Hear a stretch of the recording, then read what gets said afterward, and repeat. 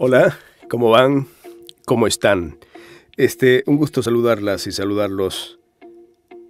Este, estamos un poco resfriados. Vamos a, la idea de ahora de este video es ver cómo nos comportamos nosotros, eh, quienes hacemos oficio de locución y estamos resfriados. ¿Qué hacemos? Nuestra herramienta está, este, Roma. En este punto debes de tomar en cuenta em, hasta qué nivel puedo alcanzar si me dicen ahora, grábate una narración de un encuentro deportivo, pues, ay, ay, ay, ay, ay, ay. Entonces, saber que cuando estamos resfriados, eh, no podemos llegar a ciertos niveles. Sí, somos seres humanos y tenemos derecho a un buen trato. entonces, se nos hace medio complicado, ¿no? Listo. Vamos entonces... Eh, eh, no a ubicar nuestra locución tanto en esta parte porque si posiciono más mi locución aquí podrán ustedes notar que yo estoy hablando más nasal. Entonces, metemos aire y es una especie como como bostezar. Eh, funciona para cada uno. Usted encuentre la que le acomode. Eh, tomo aire nuevamente y de esta forma puedo hablar más, de esta forma, más con el diafragma, más con el, aire de panza. Entonces ya no aplico tanto el diálogo de aquí, porque si no, si hablo así, pues vamos a grabar cosas así. Y volvemos nuevamente. Tomamos aire y de esta forma, a pesar de que suena un poco resfriado, pero ya no es esa clásica voz resfriada que no se va a poder vender. Entonces, si bien eh, este tema de la respiración nos afecta a los locutores, pero más nos afecta cuando hay una irritación en la garganta. Ahora yo estoy resfriado, pero no tengo irritación en la garganta. Por tal motivo, mi voz eh, sale eh, con gripe, pero sale limpia. ¿Sí? Entonces, eso es lo que tenemos ahora acá. Eh, lo que queremos hacer ahora es, este, estamos repasando unos eh, reportajes documentales que estamos grabando. Estamos con el C-Electronic eh, C200. Estamos grabando a través de la PXWX70. Pasamos esto a través de OBS con el cual estamos grabando cámara y audio. Y estamos procesando con unos plugins en OBS. ¿De qué forma? Eh, tengo capítulos por aquí en el canal que lo pueden ver, ¿sí? ¿Cómo es la dinámica de, de esta narración? Es una serie de reportajes tipo documentales que va variando, no, llevan una línea que es Todos no llevan esa línea. Hay unos que son mucho más personales, hay muchos que hay otros que son narrados y hay otros que son tipo eh, yo voy al lugar y me encuentro en el lugar y hago tal cosa, ¿no? Por ejemplo, el libreto que ahora tengo acá es nos embarcamos en un recorrido por varias semanas de grabación. Escuchamos en la escuelita de campo, eh, creadas para fortalecer los conocimientos ancestrales de la producción de plátano barraguenete de exportación en el Carmen. Entonces, mm, lo leí muy rápido, creo que no me entendieron. Pero eh, la idea de acá es que sea... Em, eh, hace cuenta que yo estoy en cámara y, le estoy diciendo en cámara y le estoy hablando a ustedes en cámara.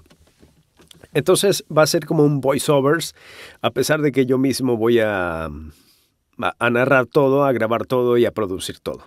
Así que, bueno, hagan cuenta que yo estoy frente a cámara y llámese libreto, ¿no? Nos embarcamos en un recorrido por varias semanas de grabación. Escuchamos de las escuelitas de campo creadas para fortalecer los conocimientos ancestrales en la producción de plátano barraganete de exportación en el Carmen. De aquello hay que segmentar. Recuerden hacer espacio para poder em, hablar y que no nos quedemos sin aire, mucho más ahora que estamos un poco afectados con nuestro sistema respiratorio. ¿Cómo se lo va a hablar? Eh, natural, natural, porque si fuera, si fuera una narración este, más documental sería, escuchamos de una escuela de campo, creada para fortalecer conocimientos ancestrales de la producción no sé qué, no sé cuánto. Ya, acaba más eh, natural. Nos embarcamos en un recorrido por varias eh, semanas de grabación. ¿Sí? Nos embarcamos en un recorrido por varias semanas de grabación. Tienes el micrófono acá, sí, estamos encerrados, no vemos a nadie, pero eh, tu imaginación vuela. Estás frente a la cámara y dice, nos embarcamos por varias semanas de grabación en un recorrido tal, tal, tal.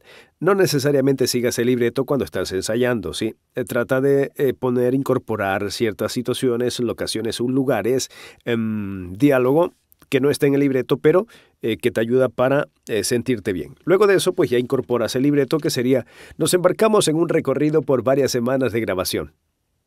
Recuerda que va a ir combinado con música, eh, imágenes, videos, chan, chan, chan, música, tan, tan, tan.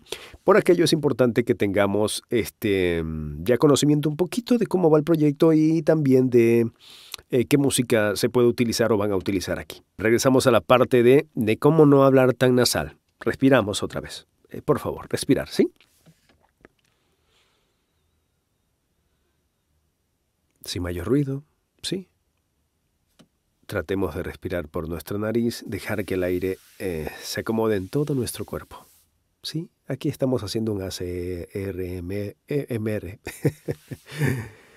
sí, entonces, eh, a veces lo hago cerrando ojos, incorporo aire en mi cuerpo y de esta forma siento que lo voy distribuyendo de una forma equitativa y no lo estoy gastando completamente y me quedo sin aire y al momento que quiera terminar de hablar no puedo hablar. Si comprendes. Hecho. Eh, son prácticas, ¿sí? Otra de las cosas que hago para liberar un poco la, tensión aquí en la nariz es respirar por un lado. Si está tapado, respirar poco a poco hasta que se destape eh, mentol, eh, bajos con eucalipto, manzanilla, naranja, no sé, hacerte un bajo. Nebulización también puede funcionar para que destapes las fosas nasales. Y luego exhalo por la otra eh, orificio de la nariz. Tener una toalla, una, una cosita para que te vayas limpiando porque va a salir poquito. Entonces, de esa forma lo vamos haciendo. ¿Te parece? Así que inténtalo tú, ¿no? Vamos, vamos, eh, solo un intento contigo y luego avanzo. Vamos nuevamente. Respiro por un lado. Esta fosa nasal la tengo más tapada. Respiré, tapo la otra y exhalo. Esta la tengo más destapada. Vamos por acá.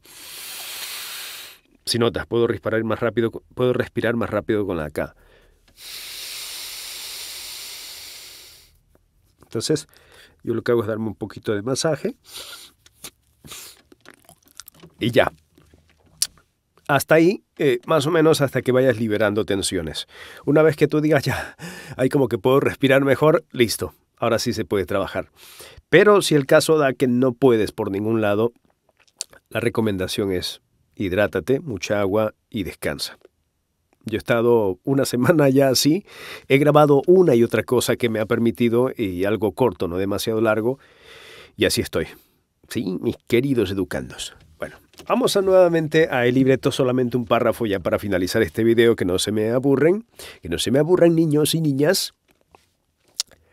Nos embarcamos en un recorrido por varias semanas de grabación. Aquí hay que tener mucho cuidado de no correr, de pronunciar bien. Em, eh, ¿Qué tan intenso está el, periodista o el presentador que está en cámara? Nos embarcamos en un recorrido... O sea, ¿qué, tan arriba está? O nos embarcamos en un recorrido por... Eh, más o menos ya yo le pongo que es un nivel medio, ¿no? Es un libreto creado por mí, que todo el desarrollo sé cómo va, entonces eh, mi idea es que el, el presentador diga, nos embarcamos en un recorrido por varias semanas de grabación. Chan, chan, música, ta, ta, ta. Escuchamos de las escuelitas de campo. Hice, hice algo, una melodía. Campo. Otra vez. Escuchamos de las escuelitas de campo creada para fortalecer los conocimientos ancestrales y la producción de plátano barraganete de exportación en el Carmen. Ya, démosles eh, la distancia que querramos porque esto no va a ir 100% en cámara. Ejemplo, el presentador dirá, nos embarcamos en un recorrido por varias semanas de grabación en cámara, ¿no? Y luego va a ir una especie de fondo musical eh, montando imágenes y luego escuchamos de las escuelitas de campo creadas, eso va a ir con, con imágenes encima, no necesariamente con el presentador, ¿sí? Entonces puede llevar un ritmo de... Escuchamos de las escuelitas de campo, creada para... crea, otra vez. Escuchamos de las escuelitas de campo, creadas para fortalecer los conocimientos ancestrales en la producción del plátano barraganete de exportación en el Carmen. Más, menos. Práctica, recuerden, estamos haciendo práctica ahora. Entonces, em, la idea es que cuando eh, la persona esté viendo este reportaje o este documental, se pueda trasladar un poquito al lugar donde tú estás. Sí, porque la idea es de que em, el personaje aparezca en un bosque o platanera o lo que sea, tendrá que ambientarse ese lugar. Entonces, eh, la idea no es que suene tan cercana, porque ahí estamos en el punto de que, ¿qué tan distante me pongo del micrófono? Pues em, sonaría demasiado profundo, y no quiero una voz que suene así sino que sería una voz más libre. Por eso lo estoy haciendo una cuarta, si es que el entorno acústico me lo permite. Si es que el entorno acústico me lo permite. Aquí me lo puedo permitir. Pero si estás en un lugar con mucho ruido, pues no, no va a suceder. Escuelitas de campo, dijimos. Eso lo quiero ver. Esa es la otra parte del libreto. Escuelitas de campo, dijimos. Ah, eso lo quiero ver. Es como escuelitas. O sea, en el campo también hay escuelas para los trabajadores. Eso, eso es más o menos la dinámica que se quiere decir. Sí, ya. Y luego de eso viene a alguien que va a hablar sobre las escuelitas de campo. Entonces, eh, para finalizar, línea 1, párrafo 2 eh, y la última línea. ¿Ya? Vámonos ahí. Nos embarcamos en un recorrido por varias semanas de grabación. Escuchamos de las escuelitas de campo creadas para fortalecer los conocimientos ancestrales en la producción del plátano barraganete de exportación en el Carmen. Escuelitas de campo, dijimos. Eso lo queremos ver. Y con eso estaríamos, mis queridos amigos y amigas. Ya sabes, suscribirte, comenta, comparte, pregunta. Sí, estamos en feedback. Si quieres fortalecer un poco más a lo que hemos mencionado ahora, también lo puedes hacer. Este video se va a YouTube y a Facebook, eh, Overvoice. Contactos overvoice.com, recuerda.